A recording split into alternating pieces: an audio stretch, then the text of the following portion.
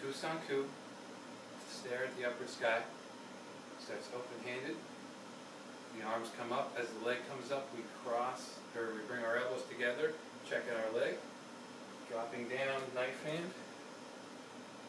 Hips go back, we're gonna bring the hands behind our head like we're making a circle, bring the hands together, make a triangle, one, two, three, we pull it back. As it comes back around to the front, our hips come up, breathing down. Stairs open-handed, feet together. As you bring your left leg up, you're going to cross your arms together, checking them. They're both kind of covering you, yourself up. So your left leg is checking the groin as the hands are protecting the head, but you're only standing there for a second. So you're going to check and immediately drop into a horse stance with two knife hands going right past the knees, striking to the groin.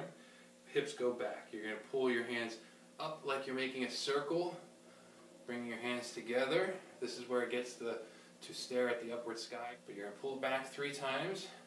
Your pull, hands come back, and then on the bottom part of the circle, your hips come together, trying to breathe and pulling your center out in front. Cat stance, knife hand guard. Cat stance, knife hand guard. Cross behind, side kick, cat stance, knife hand guard. You're going to slide into a cat stance. Cat stance is a, a, knife hand guard. It's not a knife hand block. Our hand is, elbow is over the, uh, the wrist is over the elbow. It's just a, a, knife hand guard with the hand across the solar plexus. We repeat it to the same side, uh, opposite side. We cross, step behind, side kick, knife hand guard again. Step forward, sword arm, hand closed, sword arm, press block at the same time as you step and spear hand. Turning around, cat stance, knife hand, rising block. So, uh, bringing the hand down, spear hand, checking the elbow. Grab, kick into a sword uh, snake stance as we outward block, to the side and low block.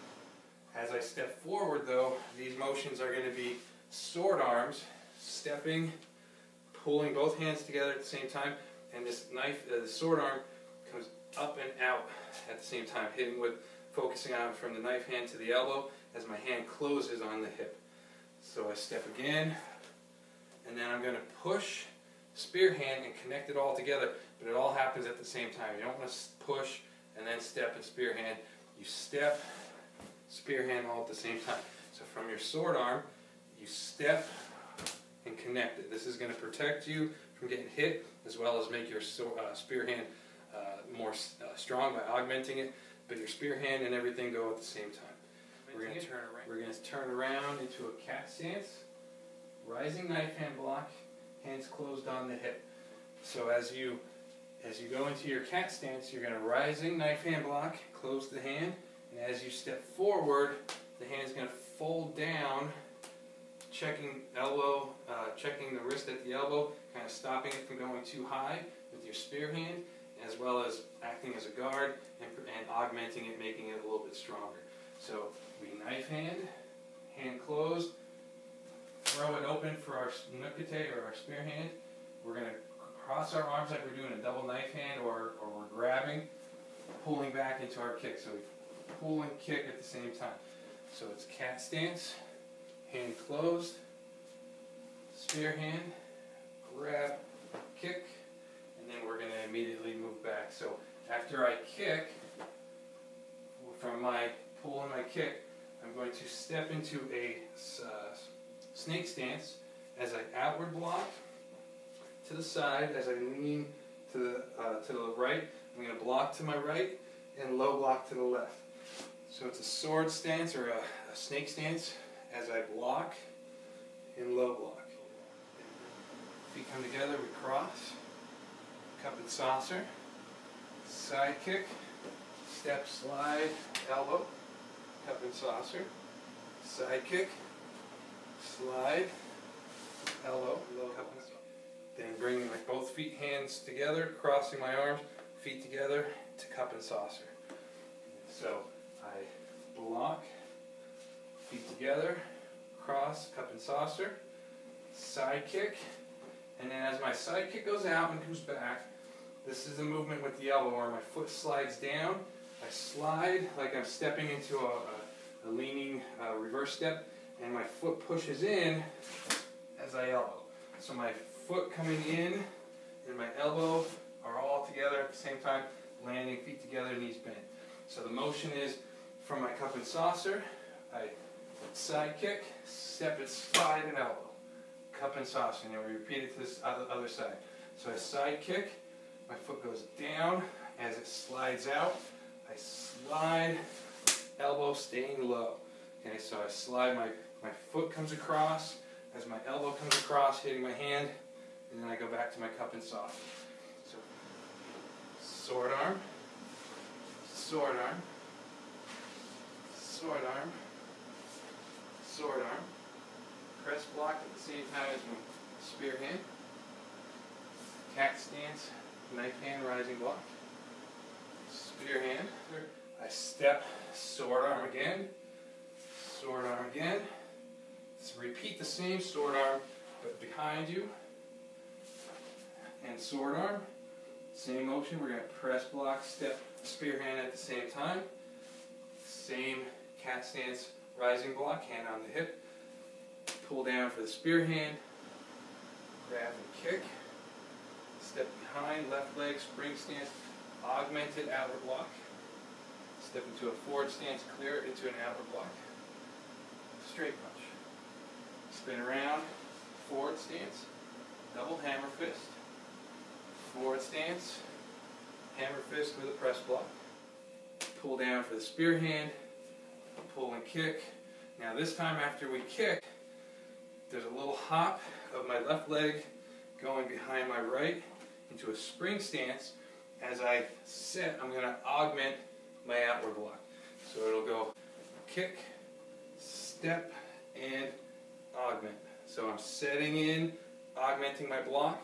I'm going to step out, because you're not in there for long, you're using that power of that step to put power behind your block and immediately spring out of it, crossing again for a regular outward block, followed by a straight punch. So that motion again, we kick, step, block, clear, punch. Then we're going to step behind, checking the leg if we need to, double hammer fist, shoulder height, step again, single hammer fist, press block with the right. Jumping, cat stance, hammer fist, pushing the hand down, fingers together into a forward stance, low knife hand guard, turn, outward block, low block, straight punch, pull it back, looking, stepping, side kick, cat stance guard. From here, I hop as I immediately as I set at the same time I hammer fist. My hand's going to roll like I'm pushing the back of the head. So I picture I smash the side of his face, push the head down, but I'm still in the forward stance, but I'm leaning forward. Okay, I'm not touching the ground, and I'm not in a bad stance. I go from my cat stance, head uh, waist level, push down to below the knee, step forward, low block like a low gedan barai, but with an open hand, other hand protecting across the solar plexus. We're going to turn, just a traditional outward block, step, traditional low block, then we're going to step and punch and pull it back. When we pull that punch back, after our low block, we're going to step, punch right down the middle, but then we're going to yank it back to where it's in line with my elbow. It's a, a good forearm check or guard, or if somebody was grab, you punch and they grab the hand, you're pulling it towards the, grip of the thumb. So on my low block, I step, punch, pull it back, and then I'm immediately going to cross behind and side kick. So after my punch, pull it back, I look, I step, side kick, same cat stance, uh, cat stance with our same knife hand guard with the hand on the solar plexus. Guard, sword arm, sword arm, press block, spear hand. You're going to tension, slowly pull, twist the wrist, pull in with breathing. Once you get to here, you're going to immediately spin around, to a horse stance with a hammer fist. And then you're going to push and do two back fists. After the second back fist, elbow to the front, cross, tension, breathing, slow outward block, slow low block. Same sword arm, same sword arm, same pressing spear hand. Then from here at the end, this is where I'll, a little bit of the tension comes in. We spear hand, I breathe out, I breathe in as I turn, and I breathe out as I pull it back to where it gets vertical. I don't want to pull it all the way back to my forehead though. I spear hand, I twist my palm, pull it back. Picture like somebody's pulling on your hand and you're pulling with everything you got. Everything's tightening. Time it with your breathing so your arm's not too fast and your breathing's too slow or vice versa. You want to breathe out, breathe in, breathe out, and everything snaps. As soon as that snaps, immediately you want to turn and hammer fist. As soon as you land with your hammer fist, you're going to immediately push, back fist once, twice, immediately elbow. So there's a little bit of a rhythm to that last part. So it goes spear hand, breathe out, breathe in, turn, strike, all really quick. So once you uh, hammer fist, back fist, back fist, elbow, you're going to do a slow outward block, uh, low block, and an outward block with tension. So you're going to elbow, uh, smash your hand with the elbow. I kind of bring my elbows together like they're, they're tied uh, from here to here. And then I'm going to start my tension from my horse stance, twisting, breathing out. Everything snaps, snap, and tightens. So the tension should go from here, you're in your horse stance, breathe out, breathe in, breathe out again.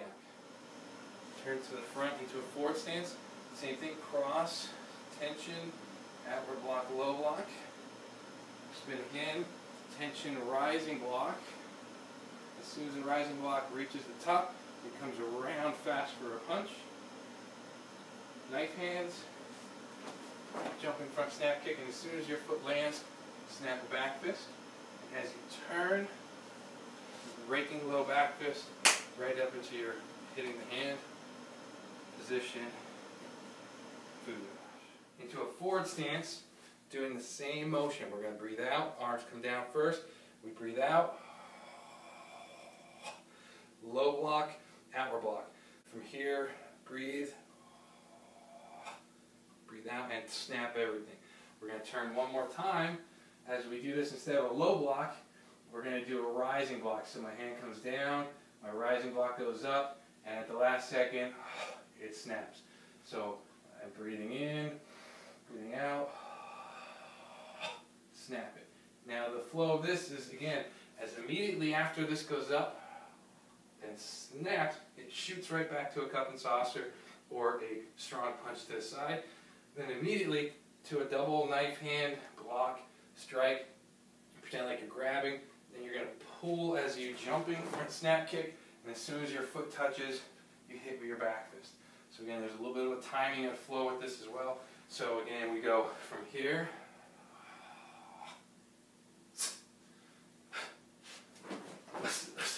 Okay, so everything kind of flows together. So if we're going back in the regular direction, I'm rising block with tension, around to my punch, double knife hands, jumping front with a back fist to the same height, and then as I spin, I'm bending my knees, doing a back fist low as it rakes back up to the front, hitting up top, rolling it back down. Rising block, punch, block, kick, back fist, raking position. Kata Kusanku. Stare at the upward sky.